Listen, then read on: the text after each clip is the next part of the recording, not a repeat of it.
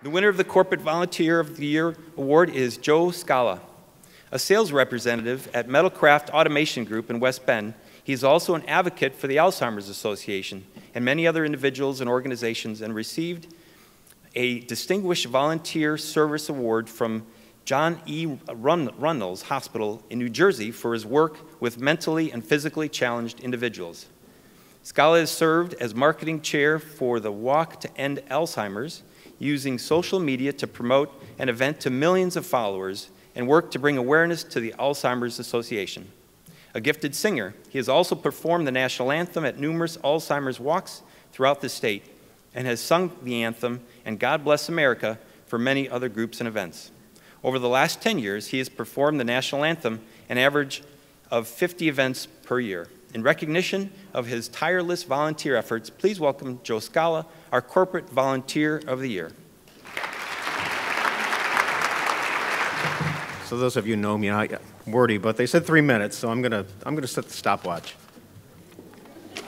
Just want to be nice. You want to be well. He just he just said two, so I'll cut it back.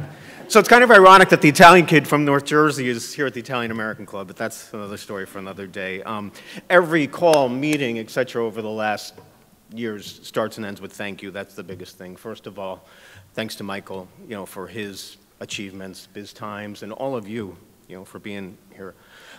With anything like this, you start at the beginning, uh, mom and dad. Um, for, Monday was 41 years dad's been gone. Um, he and my mom, uh, they're first generation immigrants. I was the youngest of eight. I mean, we had nothing. My mom always instilled in us, even if you don't have much, you share what you got. And that's just the way we we, the way the Scalas roll.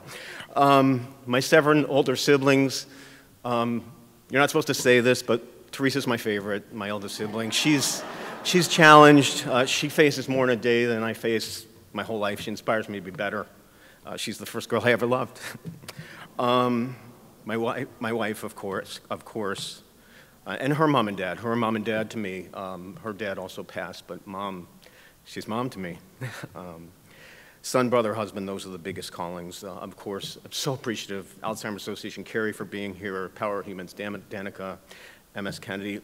I, all the others that aren't here, I'm so appreciative. There's so many others with uh, Veterans Day approaching next week. That's a huge day for me, as they uh, kind of alluded to. So, you know, on that note, since they did say to stick to two minutes, uh, I'm just going to leave you with some advice from James Taylor.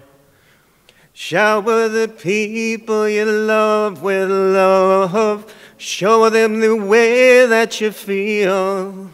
Things are gonna work out fine if you only will. Do as I say. Shower the people you love with love. Show them the way that you feel. Things are gonna be much better if you only will. Two minutes, five seconds. Thank you, everyone, so much. Thank you.